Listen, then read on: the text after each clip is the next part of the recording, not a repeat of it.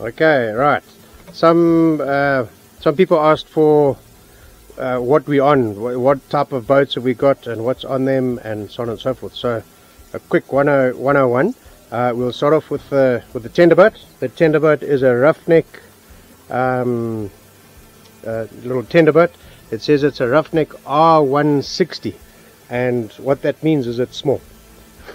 um, it's got a Mariner 60 um, Bigfoot um, on the end there. Uh, it's got built-in fuel tanks, um, pretty low down to the water. I think it's going to be a little bass boat, um, but it's ideal. Um, suits us suits us quite well. It does have a bass motor, which is really great for um, getting through the trees um, and not having to run the run the main motor. It is pretty low down to the water and not ideal for Kariba at all with regards to the to the crocodiles. And as we have found out, when towing it behind in rough weather, um, it does take a bit of bashing and it also takes on quite a bit of uh, of water. So that's the tender boat. So on the back there, you'll see there's a solar panel. We've just put a solar panel there for the Bass motor battery. So during the day when we're not using it, it uh, it automatically um, re recharges. So so far so good. We've not run out of any Bass motor um, battery just just yet. There's a small bucket um, down there for a small boat. Um, really, so that we don't have to pop our hands over the side um, to clean them after all the worm worm stuff gets on them. So we don't want to get eaten by crocodile. Right, moving on to the onto the back of the houseboat. Probably the easiest place to start, and then we'll just walk everything through. Um, that side there where Wayne is standing is, a, is an outdoor shower, which we've slowly turned into our shower and laundry laundry area. So it's just a cold water shower pumped straight out the out the lake. Um, on the left hand side behind him, this is on the side of the of the boat we've used for our fuel storage, and we've just got a little um, netting shade cloth there to keep the direct sunlight sunlight off it. Um, this solar panel here, um, the black guy or the mirror, what looks like it, that's actually a little solar panel for the main motor starting battery. So it just charges that up to make sure it's always always topped up. Um, the other side of the back deck there, gas bottles, gas geyser for the for the shower.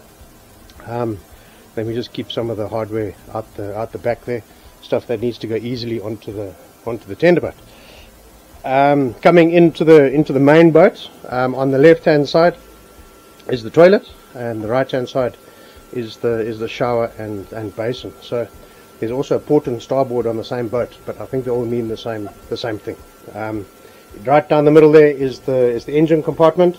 Um, it's got a ZF drive. It's a Volvo Penta diesel, 50 horsepower as far as I, I know. Um, the battery on the left hand side is the starting battery, and the one on the right hand side provides power to the 12 volt lighting system and the pumping and the pumping system. Um, going through on the right hand side there, you'll see there's a small kitchen, um, gas stove, um, and some cupboards cupboards underneath. And we seem to have managed to do most of our cooking on there. Um, we haven't really had much time to do any braaiing on the on the bank. Um, on the opposite on the opposite side of that is the uh, the basin wash up wash up area with cupboards underneath, and then in the center here is the stand up um, fridge fridge freezer, and built onto the back of that is just a center console um, that houses some cutlery and so on and so forth. Down at the bottom there, those red things are the two batteries. So they're two uh, 200 amp hour uh, gel gel batteries, and tucked away right on the inside there, you can see the screen going there. That's the um, the 2.5 kVA inverter, and the little switch box and the safety fuse, and so on and so on and so forth. Um, the boat's got four berths, one, two, another one at the front, and then this one here. But for this journey, we've changed it a little bit, um, and this berth has become our kitchen. Um, it's got all of our provisions um, in inside there, and then on the other end, which is this side, this side here, uh, we've turned into our where we've got our clothes and spare mattresses and our shirts and, and so on and so forth. Um, so that's been the little little change there. The front is a charging charging place, um, USBs and 220 volts. Just at the top of the boat, there is quite a bit of storage at the at the top.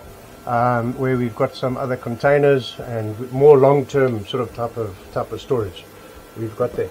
But the one thing that's new on the boat is the water purifier um, that I bought from a friend of mine called Parvin.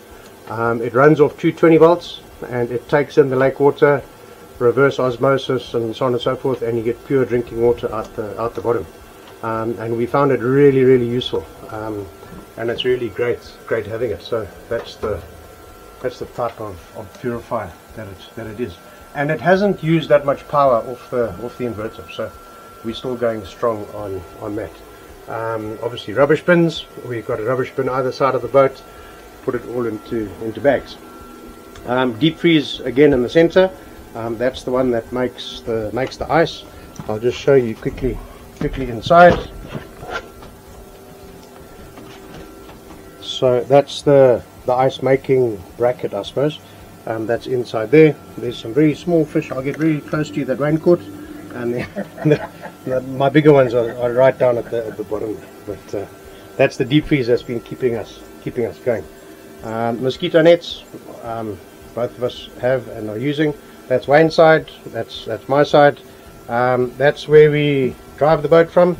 Um, we've got a Lowrance, um, which is we've not used before much, but we're really getting quite good at it about plotting routes and waypoints and changing changing everything going going forward.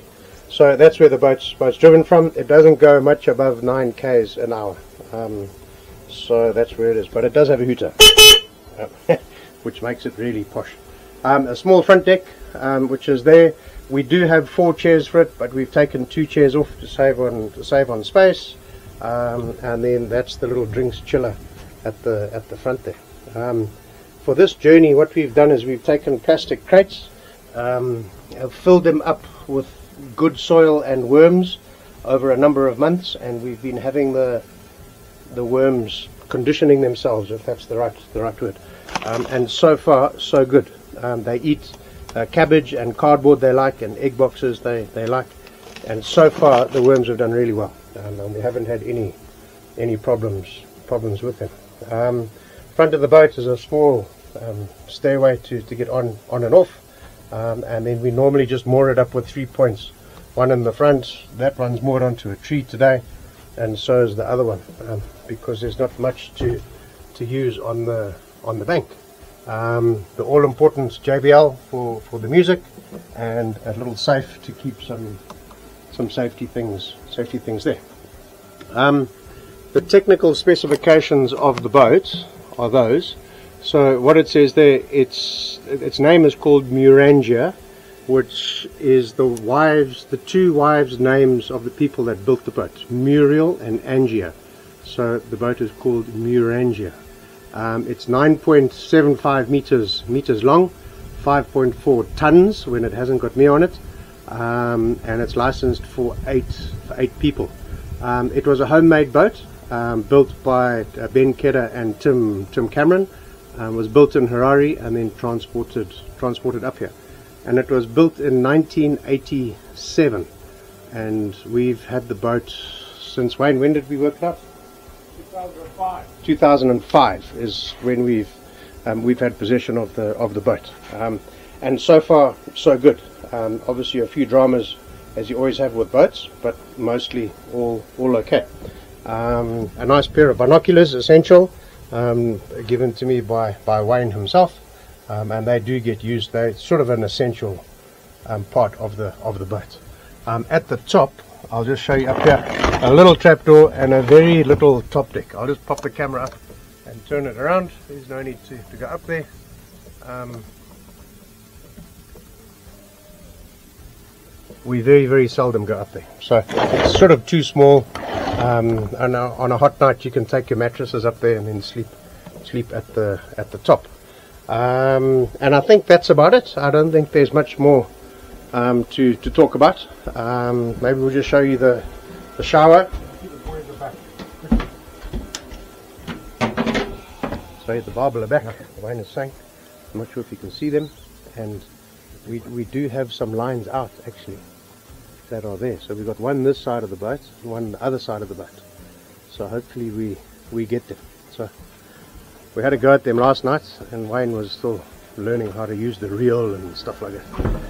But that's the the shower, shower and and basin area. Um, it, so it does does have hot water, and it does have a, mirror um, for for doing makeup and stuff like that. Um, this is the toilet, also known as the head. Um, so not such a great place, but uh, it's okay. It does the does the trick. Um, down at the bottom there is just the fuse box, um, which was recently put in uh, for the 12 volt system, and a good friend of mine, Richard, used the boat for the first time after I put that in, and the blue lights just attract all the insects and all the mosquitoes and everything. So it is a bit of a snag having blue lights on the instruments on the instrument panel. But that's it.